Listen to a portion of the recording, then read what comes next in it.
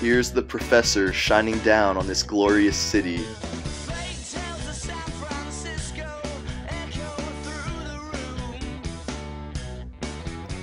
Travel to all 8,980 feet of the Golden Gate Bridge.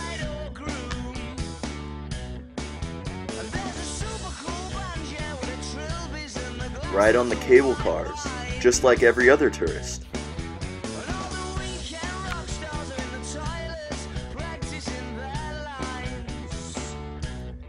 Show off your pride in June with one of the most accepting communities worldwide.